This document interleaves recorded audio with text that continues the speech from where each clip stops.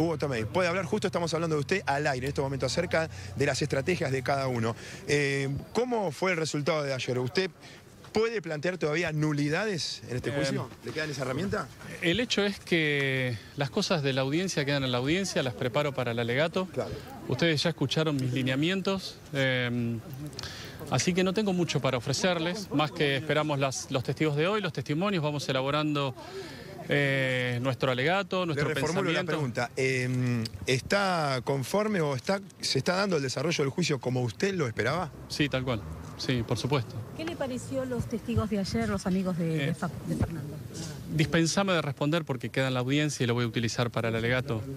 Así que Respecto a las decisiones del tribunal y las nulidades que, que presentó, eh, ¿qué, qué nos puede decir, Tomé? siempre se acatan. El tribunal está para resolver y el derecho es lo que ellos dicen, así que estamos aceptando. Cabe- declara Pablo Ventura. eh, De eso no te voy a hablar porque tiene que ver con la ¿Es audiencia y desmedida, propia es desmedida la acusación sobre sus asistidos? ¿Usted cree que es desmedida, es exagerada para usted? Eh, una vez que se produzca toda la prueba, sus asistidos? una vez que se produzca la prueba y en el alegato me escucharán y ahí diré si corresponde o no con la calificación jurídica de la, de la que trae la Fiscalía a juicio, ¿Van a ¿verdad? declarar sus asistidos? No lo sé todavía. ¿Cómo están anímicamente ellos? Eso soportando el juicio. ¿Las condiciones de detención cómo son? Por ejemplo, ¿pueden usar celulares? Eh, me reservo esa respuesta para la unidad ¿Cabe penitenciaria. la posibilidad de que usted deje de representar a alguno de ellos? No, no, no. ¿Cómo calificaría, doctor, las declaraciones de ayer? Eh, ¿Fueron recién- vagas, como dijo el papá de Thompson? ¿Precisas? No, no, no hago, no hago eh, apreciaciones por fuera de la audiencia de los testimonios. No, no corre- corresponde por- que las haga. Van por eliminar los agravantes, la No corresponde esperar los alegatos y te cuento. Bueno, la palabra entonces de Hugo Tomei, el abogado de la defensa. Es justo, estábamos hablando de él, de las estrategias. Este, mucho no puede hablar, obviamente, del contenido, pero eh, ante la pregunta reformulada, a ver si por lo menos eh, se estaba desarrollando como él tenía previsto o si como él sí. esperaba este juicio, absolutamente, sí, dijo que sí. Eh, bueno, también es parte de no demostrar ¿no? debilidad, por supuesto. Claro, claro. ahí está, no, no va a demostrar esa, esa debilidad si es que la está teniendo en algún momento, porque Sí, sí, sí. tal vez él sabe que arranca este partido perdiendo por goleada, ¿no? Digo, Sí, por sí, las sí, pruebas, la opinión pública y todo. Y entonces tiene que tratar de que no le metan más goles, sí, pero hay un momento en que tiene que ganar. Ya no importa la cantidad de, de puntos que pueda ir teniendo en cada audiencia. Hay un momento en que él tiene que reclamar no la inocencia, Sí. en este caso, porque él no puede negar la participación de sus representados, pero sí tal vez bajar la pena. Es la reclusión Sebastián- perpetua, lo que propone la fiscalía y burlando. Día 1, declaración de, de- de los padres, ese relato este, estremecedor de la madre. Día 2, el día de ayer, los testigos directos. Y, y como vos decías, tirando, tirándose al piso, eh, de rodillas, o sea, dejando claro cómo había sido ese momento.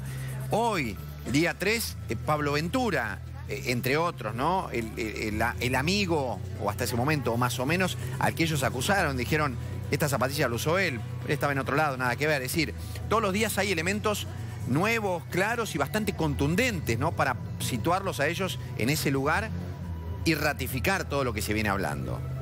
Sí. Sí, cosas que yo creo que él esperaba. Él sabía que todo esto iba a pasar, por eso eh, tiene que ir por nulidades o veremos la estrategia directamente en cuanto al rol de, de los, de sus defendidos. Eso es lo que todavía no está claro. Este, antes hablábamos entonces, para redondear también lo que siente el tribunal. Eh, ayer se hizo una jornada extensa. Sí. Eh, eran cerca de las 7 de la tarde, creo, cuando terminó todo. Eh, pero claro, quisieron sacarse, entre comillas, de encima, terminar, en este caso, con todos los testigos, los amigos, casi que terminaron, así que fue muy rica en ese sentido también, en no solo la calidad, sino la cantidad Sí, sí. de testimonios. Vos sabés que los primeros testimonios eh, empezaban hablando los amigos cómo era Fernando, cómo lo conocieron, un pibe de bien, bueno, etcétera, etcétera, que nos pinta un Fernando eh, prolijo en su manera de ser, muy familiar, muy buen amigo. eh, la verdad, intachable la imagen que están dejando Se de va. Fernando y así también lo demuestra el caso en sí. Pero ya después se empezaron a resumir, fueron directamente al, al hecho de lo que ocurre afuera del boliche. Así que veremos qué es lo que pasa hoy, en qué velocidad pueden ir pasando los Sí, testigos. sí, sí. Estamos ya pasaditos de títulos, pero no quiero dejar de preguntarte. Eh, lo único en lo que no quiso contestar deliberadamente, pero nos deja una enorme duda, es cuál es el consejo de él respecto de que hablen los imputados. Sí. Va a haber un momento, o sea, evidentemente pueden hacerlo en cualquier momento, eso queda claro, hasta ahora eligieron no hacerlo por consejo del abogado. ¿Hay un momento en el que sí o sí tienen que prestar una declaración y decir algo, explicar algo? ¿O puede pasar el juicio y ellos No, no, ellos tienen derecho a no hablar. Totalmente. Ni abrir la boca, ni siquiera decir, pedir perdón, o sea, que era, ni siquiera defen- Nada. de- defenderse técnicamente del juicio. Este, yo creo que hoy la única posibilidad que queda es que a último momento ellos hablen. Están esperando que muevan las fichas. Claro. Están Claro. esperando todas las cartas. Pura ya estrategia. sabe cuáles son, pero tal vez tiene alguna carta que dice, ah, esta juega a favor. Claro. Estamos atentos, Sebas, y volvemos a Dolores en cualquier momento. ¿Cómo no? Gracias.